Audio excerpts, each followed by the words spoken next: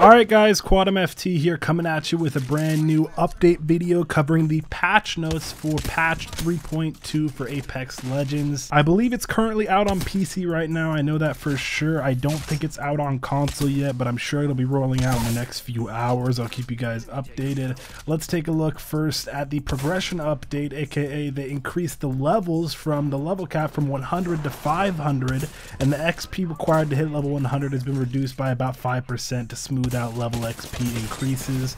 Also, level 2 to 20, you get one pack every level. Level 22 to 300, you get one pack every two levels. Then level 305 to 500, you get one pack every five levels. As well as players will earn a player level gun charm every 100 levels. Now, we also got new gun charms. I've covered that in a previous video. We got 36 new gun charms that are going to be going into Apex packs at Epic and Legendary tier. Also, gun charms will also appear in the rotating shop for players who prefer to just straight up buy them versus, you know, going and buying Apex packs. You can just straight up buy the charms. Respawn is also saying that they're taking notice and they're listening to the feedback loud and clear that the Peacekeeper is still feeling too overpowered, too powerful after the latest update. Even though it was just nerfed, people are saying, and I know I'm definitely still feeling it, it's still too powerful. But they say they're working out to push out more tweaks to address it as soon as possible. So I'm sure my guess would be is that they're going to nerf it again. Also, you guys can see on screen right now, we've got a quality of life update where helmets and armor should now be more colorblind compatible and appear slightly more vibrant.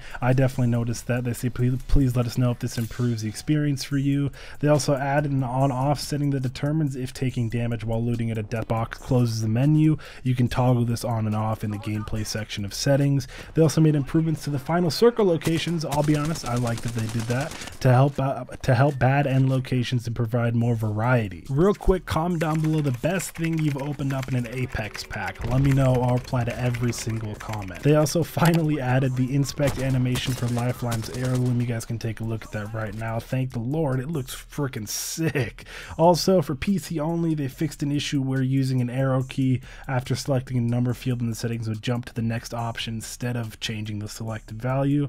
Also, gold armor spawn rate has been reduced, so it's a little bit more rare now. Also, lastly, players will now receive a prompt allowing them to cancel finishers in progress. Thank the Lord! Thank the Lord for that, man. I'm so happy we're, uh, we're able to cancel finishers now. They also came out with like 20 bug fixes for like fixing visual bugs, bugs where players were able to instantly revive each other in certain locations, crypto bugs with the tactical HUD looking like it was stuck recharging until you used it. You guys can see all of those updates right there, all the bug fixes. I don't want to go over every single one. It would take way too long. Let's get to the update to the knockdown shields. You guys can also see this on screen. They've got KO shield protection now extends over and behind the player's head instead of just right in front of you. Thank you for that. They also increased and buffed knockdown shields. The regular gray one you get, it doesn't just protect 100, it now protects 200 HP. And the blue one you get after that, it doesn't protect 250 HP, it goes to 450 HP. So the update to these knockdown shields are, they're way stronger now.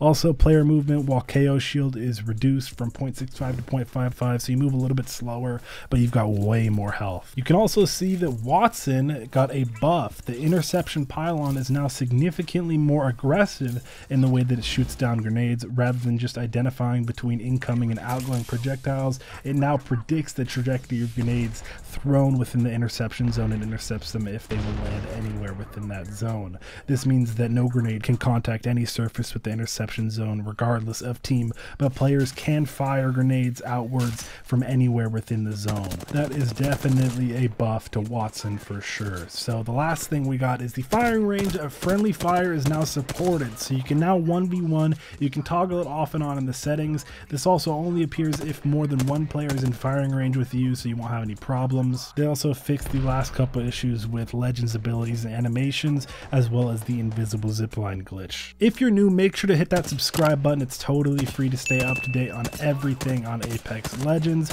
Click that like button if you enjoyed the video. It only takes two seconds. Make sure to turn your bells on as well. It's been your boy Quadmft. Thanks for watching, and I'm out. Peace. Also, I'll link the, the patch notes down in the description. Bye.